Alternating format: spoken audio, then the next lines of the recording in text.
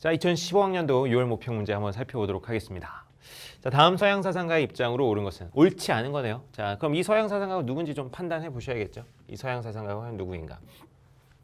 자, 집단 간의 관계는 도덕적이고 합리적인 판단이 아니라 힘의 비율에 따라서 형성된다. 어, 집단 간 관계는 뭐라는 거야? 힘의 관계다라는 거야. 힘의 관계. 집단 간 관계는 힘의 관계다.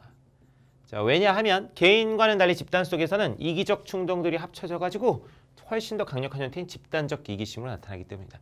개인의 이기심들이 집단 속에서 뭉개 뭉개 뭉개 합쳐져 가지고 집단의 이기심으로 더 강하게 나타난다 이런 얘기입니다. 개인으로 있을 때보다 집단으로 있을 때 이기심이 더 강하게 나타난다. 이게 누굽니까?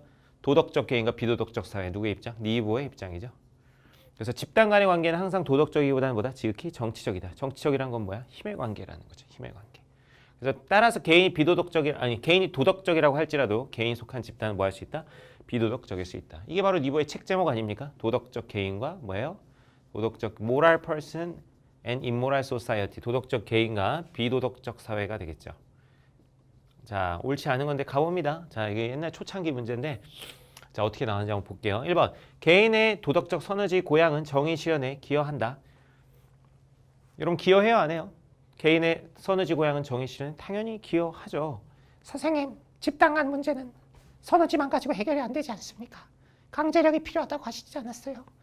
아, 물론 강제력이 필요합니다. 그런데 선의지 자체가 필요 없다는 건 아니에요. 선의지 고양도 역시 정의 실현에 기여합니다.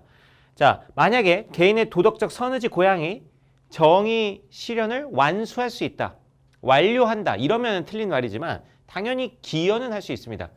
이해되십니까? 그러니까 강제력이 있어야 정의 실현이 가능하긴 한데 선의지 역시 기여할 수는 있습니다. 그래서 1번은 맞는 이야기입니다. 2번 사회 구조의 도덕성은 개인행의 도덕성에 영향을 준다. 그렇죠. 사회 그래서 뭐가 필요하다는 거예요, 여러분? 강제력이 그래서 필요한 거야. 구조의 힘, 강제력을 가지고 사회를 정의롭게 만들면 개인의 도덕성에 당연히 영향을 줍니다. 3번 정치적 강제력은 집단 갈등 해결 방안으로 부적절하다. 아니 강제력으로 해결해야지. 이 책의 핵심이 뭐야? 도덕적 개인과 비도덕적 사회 핵심은 집단은 비도덕적이기 쉽기 때문에 그 집단의 이기심을 통제할 수 있는 강제력이 필요하다. 이게 핵심이잖아요. 그래서 정답 몇 번이다? 정답은 3번이 되겠습니다. 4번 집단 이기주의는 개인의 도덕적 성찰만으로는 극복되기 어렵다. 그렇죠? 도덕적 성찰이 정의 실현에 기여할 수는 있는데 그것만으로는 해결되기는 어렵습니다.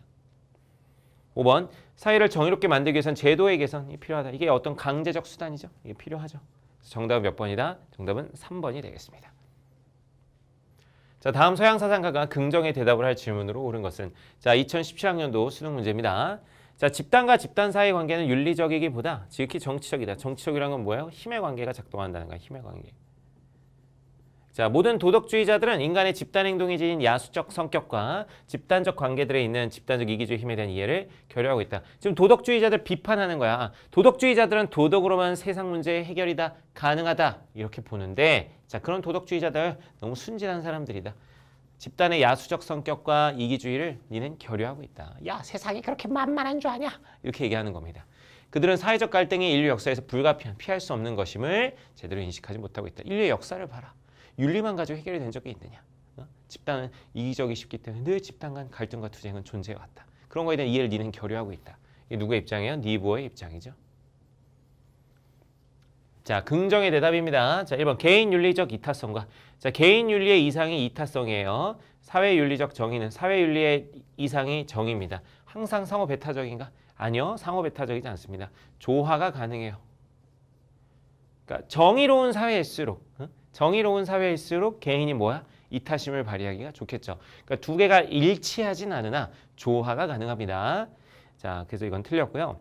2번 개인들의 자발적 타협이 개인들 자발적 타협이면 이건 도덕적 수단이죠. 정의를 실현하는 유일한 방법이가 아니요. 강제력이 필요해요. 뭐가 필요하다? 강제력이 필요하죠. 그렇기 때문에 2번 역시 틀렸다. 3번 개인의 도덕적 선의지 함양은 사회정의 실현의 충분 조건인가? 여러분 이것만으로 충분합니까? 아니죠. 강제력이 필요하지. 선의지 함양도 물론 사회 정의를 실현하는 데 기여할 수 있습니다. 그래서 충분 조건이 아니라 무슨 조건? 필요 조건이 되겠죠. 필요 조건. 그래서 이것도 틀렸다. 4번 개인 간 갈등은 자 도덕적이고 합리적인 방법으로 조정될 수 있는가? 자, 그 뭐라고 나와 있어요? 집단 간 갈등이 아니라 뭐라고 나와 있어? 개인 간 갈등이야. 개인은 윤리적일 수 있어요. 집단은 그렇지 않지만 그렇기 때문에 개인 간 갈등은 도덕적이고 합리적인 방법 즉 뭐야 대화나 타협을 통해서 조정될 수 있는가? 그렇지. 정답은 몇 번이다? 4번이 되겠습니다. 5번. 개인의 합리적 도덕성은 개인이 속한 집단의 도덕성보다 열등한가? 자 뭐야? 도덕적 개인과 비도덕적 사회였죠. 개인의 도덕성은 집단의 도덕성보다 열등하지 않고 우등하겠죠. 제 말 이해되죠? 집단이 열등하겠죠. 정답은 4번이 되겠습니다. 자, 2015학년도 수능 문제 한번 살펴보도록 하겠습니다. 자, 다음 사상가 입장에서 A에게 해줄 수 있는 적절한 조언을 한번 보시면 자, 인간은 완전히 이성적일 수는 없다. 음, 이거 완전히 이성적이진 않죠, 여러분? 자, 우리가 개인 생활에서 집단 생활로 진행해 갈 경우 충동을 제어할 수 있는 이성의 비중은 점점 줄어든다. 집단의 어떤 문제가 될 경우 이성의 비중이 점점 줄어든다는 거예요. 그렇지 않나요, 여러분? 어? 예를 들면 뭐 우리 가족 나만의 문제면은 좀 더 객관화해서 볼 수 있는데 어? 우리 가족의 문제 더 나아가서 우리 뭐, 뭐 뭐라고 할까요 우리 마을의 문제 더 나아가서 우리 국가의 문제라고 한다면 어? 우리가 이성적으로 보기 어렵잖아 뭐 예를 들면 뭐 일본과의 일본이나 어떤 북한과의 갈- 갈등 뭐 이런 게 발생했을 때 우리가 완전 100% 이성적으로 보기는 사실 좀 힘들, 힘듭니다 왜냐하면 집단이 커지면 커질수록 여기 뭐라고 나와 있어요 그 충동을 제어할 수 있는 이성의 비중은 점점 뭐해지기 때문에 줄어들기 때문에. 왜냐하면 집단 간 공동의 지성은 항상 불완전하고 일시적이다. 집단은 것을 맹목적이게 만들게 하는 충동이 있다. 집단에서 결정을 하게 되면 그것에 대해 어떤 비판적 시선을 가지기보다 그것을 이제 맹목적으로 추종하는 그런 경향들이 생겨난다는 것이죠. 이게 바로 누구의 입장이다? 리보의 입장이죠. 도덕적 개인과 비도덕적 사회 아닙니까? 자, 이 리보어가 A에게 해줄 조언. 현대사회에서 집단 이기주의가 만연하고 집단 간 갈등이 고조돼 있다는 사실을 알게 되었다. 그래서 이 발생 원인과 해결 방안은 뭘까? 를 고민하고 있다고 합니다. 갑니다. 니부어의 조언. 기억. 선의지의 통제를 받는 비합리적 수단의 필요성. 여러분 비합리적 수단이 뭐예요? 니부어 입장에서 강제력이에요. 강제력. 어? 도덕주의자들을 설득할 수 없다는 측면에서 이 강제력을 비합리적 수단이라고 얘기하긴 하는데 강제력 아무나 쓰면 안 되니까. 어? 독재자 이런 사람이 쓰면 안 되잖아. 자, 그러니까 누구의 통, 뭐의 통제를 받아야 돼? 선의지의 통제를 받아야 돼요. 그래서 선의지의 통제를 받는 강제력, 비합리적 수단의 필요성을 깨달으려 이렇게 얘기할 수 있겠죠. 강제력이 필요하다. 이건 사회 갈등이 집단 간 권력 불균형에 의해서 지속된다. 그렇죠? 집단 이기적이니까 한쪽 집단이 힘, 힘이 세면 힘센 집단이 작은 집단 뭐 하는 거야? 괴롭힐 수 있잖아. 그래서 집단 간 권력 불균형에 의해서 갈등이 지속된다. 오케이. 이거 집단이 커질수록 도덕적 목적 실현이 수월해진다. 자, 뭐라고 합니까? 집단이 커지면 커질수록 이성의 비중은 뭐해진다? 줄어든다. 그 이성의 비중이 줄어드는데 어? 어떤 도덕적 판단을 내리기가 쉬워요, 어려워요? 어렵다는 거지. 수월해지는 게 아니라 어려워집니다. 리을. 도덕적 설득과 정치적 강제력이 병행되어야 된다. 자, 강제력은 제가 필요하다고 거듭거듭 말씀드리지만 당연히 거기에도 도덕적인 방법도 쓸 수 있습니다. 그러니까 도덕적 방법만으로 집단 간 문제를 해결할 수는 없지만 충분히 기여할 수는 있습니다. 그래서 도덕적 설득도 필요하긴 필요해요, 안 해요? 필요해요. 도덕적 설득과 강제력이 병행되어야 된다. 도덕적 설득만으로는 해결할 수는 없지만 필요합니다. 그래서 병행되어야 되는 걸 깨달아라. 이거 맞는 이야기죠. 그래서 기억, 니은, 리을이 되겠습니다. 정답은 4번이 되겠습니다. 자, 2015학년도 9월 모평 문제 한번 살펴보도록 하겠습니다.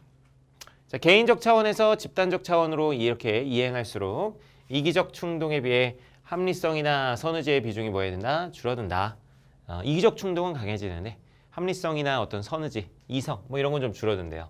이러한 충동적 경향이 심각하게 확대될 경우 어, 대항할 수 있는 사회적 억제력이 반드시 필요하다. 일종의 뭐야 이게? 강제력이 필요하다는 거죠. 사회적 문제를 해결하기 위해서는 집단이 될수록 선의지의 비중이 줄어드니까 그런 문제 해결하기 위해서는 강제력이 필요하다. 누구예요? 역시 니부의 입장이에요. 여러분 이, 이런 제시문들 진짜 눈에 못이 박히게 보셔야 돼. 아 이건 누구지? 자다가 깨어나서 딱 봐도 아 이건 니부었구나. 이렇게 할 수 있을 정도가 공부가 되어야 됩니다, 여러분. 나. 네, 개인적 차원과 마찬가지로 집단 차원에서도 합리성과 선의지는 언제나 이기적 충동을 억제할 수 있대요. 이 나의 입장은 합리성과 저기 선의지를 가지고 집단의 이기심을 충분히 억제할 수 있다. 따라서 이기적 충동이 합리성과 선의지의 고양에 의해서 견제돼요. 결국 모든 집단들이 조화를 이루게 될 것이다. 자, 이거는 사상가가 우리 따로 배우진 않는데 이런 사람들을 뭐라고 하냐면 도덕주의자라고 합니다. 뭐라 그런다? 도덕주의자. 도덕만으로도 모든 문제를 해결이 가능하다. 뭐라고 한다고? 도덕주의자. 도덕만으로, 선의지만으로, 이성만으로 집단 간 사회 문제를 해결할 수 있다. 도덕주의자라고 합니다. 자 그러면은 니버가 누구한테 할 말이야? 도덕주의자에게 할 말이야. 자 니버는 도덕주의자들을 이렇게 평가해요. 저런 순진한 녀석들. 어?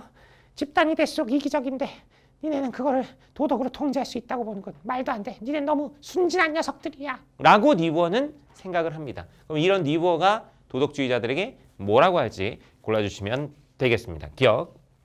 도덕적 사회를 실현하기 위한 정치적 방법을 무시한다. 여러분 정치적 방법은 일종의 뭐예요? 강제력이 포함이 되겠죠. 권력을 가- 다루는 것이니까. 그래서 도덕적 사회를 실현하기 위한 정치적 방법. 야 도덕주의자 니네는 도덕으로 다 해결하려고 그러는데 강제력, 정치력 이런 걸 니네는 망각하고 있어. 무시하고 있어. 라고 비판할 수 있겠네요. 기억이 일단 맞습니다. 니은 개인 양심과 집단의 요구 간의 모순이 지속됨을 간과한다. 자 개인의 양심은 예를 들면 어떤 집단에 속한 사람이 어, 자 A라는 집단과 B라는 집단이 대립하고 있다고 해봐요. 그래서 A 집단은 죽일 놈들이야. 아니야, B 집단이 죽일 놈들이야. 서로 이러면서 엄청나게 다투고 있습니다.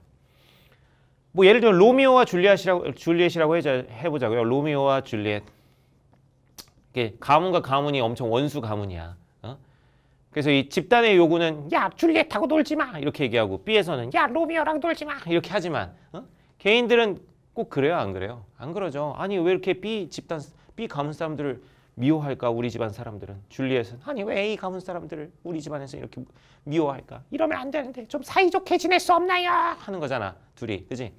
그렇기 때문에 이 로미오와 줄리엣 이 개인의 양심 은 서로 잘 지내자는 것인데 집단의 요구는 서로를 미워하라는 거죠. 이 모순이 생기는 겁니다, 여러분. 그죠? 그래서 모순이 지속돼요. 그래서 도덕주의자들한테 얘기하는 거지 리버가 야 거기 개인의 양심만으로 해결이 돼야 안 돼. 안 돼. 결국 어떻게 해? 로미오와 줄리엣은 서로 죽잖아. 어? 그래서 모순이 지속됨을 간과하고 있죠. 야 도덕주의자들아 그 도덕만으로 해결이 안 된다. 강제력이 필요하다. 그래서 모순이 지속됨을 니는 간과하고 있구나. 디귿 응? 개인과 사회의 최고의 도덕적 이상이 동일하다. 동일함을 간과한다. 아니에요. 개인의 이상은 이타심입니다, 여러분. 이거 반드시 외워두셔야 되는데 개인의 대- 도덕적 이상은 이타심이고 사회의 도덕적 이상은 정의예요. 정의. 사회는 이타적일 수는 없기 때문에 어? 공정함, 정의가 도덕적 이상입니다. 자, 그래서 디귿은 틀렸고 자, 리을 집단 간 힘의 차이가 힘의 진짜 집단 간 힘의 차이는 힘의 불균형이라고 볼 수 있어요. 힘의 불균형. 집단은 이기적이라서 한 집단이 힘이 세면 다른 다른 집단 괴롭혀 안 괴롭혀? 괴롭힌다고. 그럼 부정의가 발생하겠죠. 그래서 집단 간 힘의 차이가 부정의 원인인데 야 니네는 도덕만 가지고 해결하라고 말도 안 돼. 예, 그래서 그걸 비판할 수 있겠죠. 그래서 너는 니네는 집단 간 힘의 차이가 부정의 원인임을 간과하고 있군. 이렇게 얘기할 수 있겠습니다. 그래서 정답은 기억, 니은, 리을 4번이 되겠습니다. 자, 2016학년도 수능 문제 한번 살펴보도록 하겠습니다. 자, 갑을 두 사람 나와 있는데요. 자, 갑의 입장 한번 보겠습니다. 자, 자연은 인류를 고통과 쾌락이라는 두 주인에게 지배받도록 만들었다. 여러분, 이 문장만 보셔도 이 사람이 누군지 아셔야 됩니다. 이 문장은 이 사람이 이야기한 아주 유명한 말입니다. 자, 인간은 쾌락과 고통에 의해서 지배를 당한다. 이게 쉽게 얘기하면 즐거움과 괴로움이에요. 즐거움과 괴로움에 의해서 지배를 당한다. 그럼 좋은 게 뭐다? 즐거움이다. 그럼 즐거움을 뭐 해야 된다? 최대한 늘려야 된다. 그래서 뭐다? 최대 다수, 최대 행복이다. 이 누구다? 벤담입니다. 벤담. 좀 읽어볼까요? 그래도 공리의 원칙, 공리의 원칙 나왔죠? 벤담인 거 아시겠죠? 공리주의. 복종관계를 인식시켜주고 이성과 법률의 손길로 행복의 틀을 짜는 목적을 지닌 체제의 기초이다. 최대 다수, 최대 행복을 완수하자. 이게 이제 벤담의 입장이죠. 자, 을의 입장 한번 보겠습니다. 자, 자연의 질서에 속하면서도 이성의 지배를 받지 않은 요소를 파악해야 된다. 집단의 도덕은 자연적 충동에 버금 갈 만한 사회 세력을 형성하기 어렵기 때문에 자, 집단의 도덕은 힘이 강하다는 거야, 약하다는 거야. 약하다는 거야.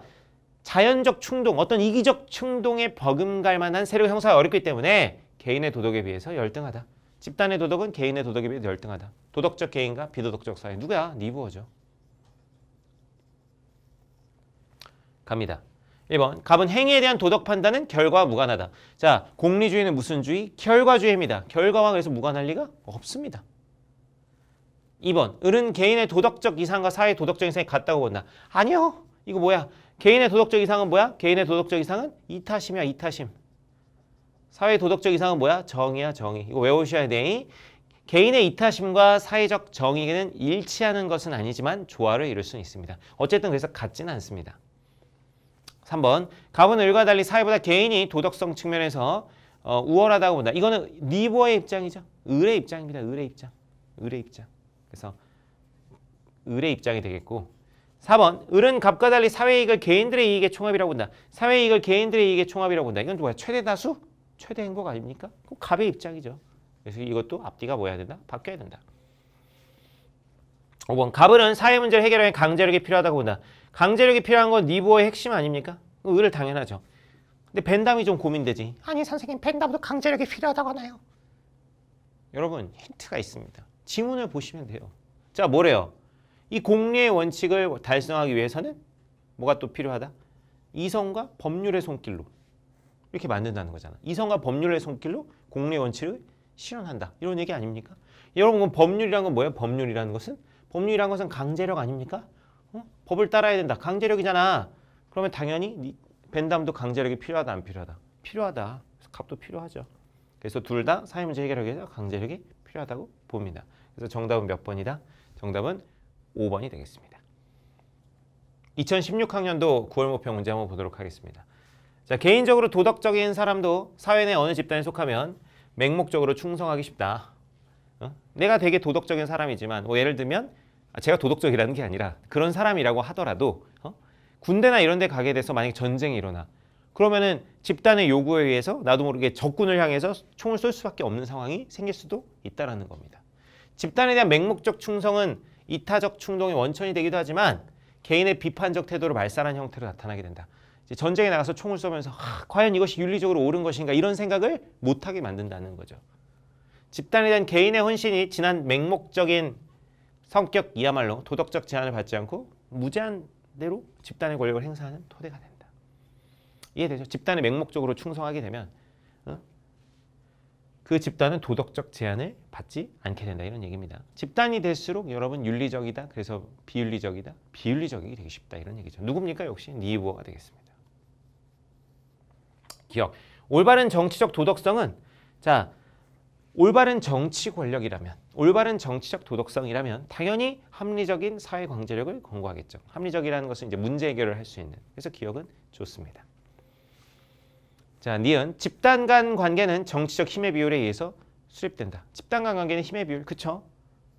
그것이 바로 뭡니까? 정치적 관계라는 겁니다. 정치적 관계다. 힘의 비율에 의해서 집단 이기적이니까 힘센 집단이 약한 집단 괴롭힐 수 있어요. 그래서 이런 힘의 비율에 의해서 형성이 된다 이런 얘기고 이거 집단의 도덕성은 집단 내 구성원의 도덕성에 비례한다. 자, 니보의 책 제목이 뭡니까? 도덕적 개인과 뭐야? 도덕적 개인과 비도덕적 사회잖아. 그래서 개인들이 도덕적이더라도 그 사회는 뭐 할 수 있다는 거야? 비도덕적일 수 있다라는 거죠. 그러니까 꼭 집단 내 구성원의 도덕성에 집단의 도덕성이 비례한다고 얘기할 수는 없습니다. 각기 다른 성격을 가집니다. 리을. 집단 간 세력 불균형은 자 어떤 집단은 힘이 되게 세고 어떤 집단 힘이 약해요. 그럼 강한 집단이 약한 집단 뭐 할 수 있다고요? 괴롭힐 수 있다고요. 그래서 사회 갈등과 부정의를 지속시킬 수 있겠죠. 그래서 리을도 맞는 이야기가 되겠습니다. 그래서 정답보다 기역, 니은, 리을이 되겠습니다. 정답은 5번 되겠습니다.